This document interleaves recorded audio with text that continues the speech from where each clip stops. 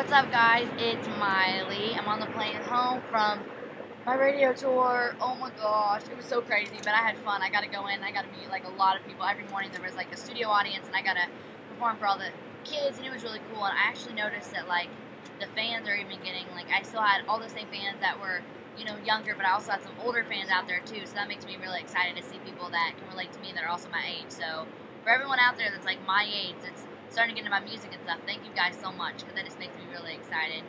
And uh, another thing, I know I thanked you guys for Kids Choice, but thank you, thank you, thank you guys. I just keep getting more excited. I can't wait for it to be here.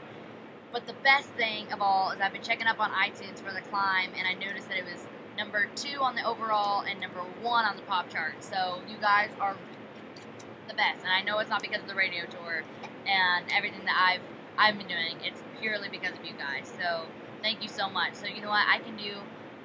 I can try as hard as I want to to make it happen, but it's always going to be you guys that makes this possible. So thank you guys so so much. You guys are totally the best, and uh, I'm just really really happy because I needed this. Just everything going on right now that I've been really busy working on the show and stuff. I've missed doing music and and miss being able to relate to you guys. So you guys are truly truly the best. So you rock.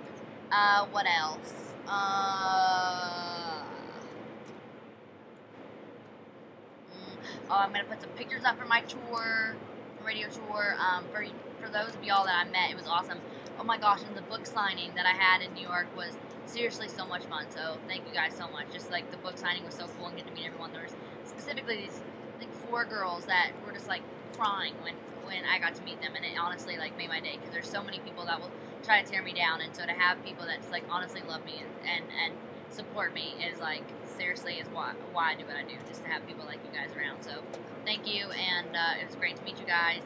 And uh, yeah, love you guys so much, and hope to see you guys soon.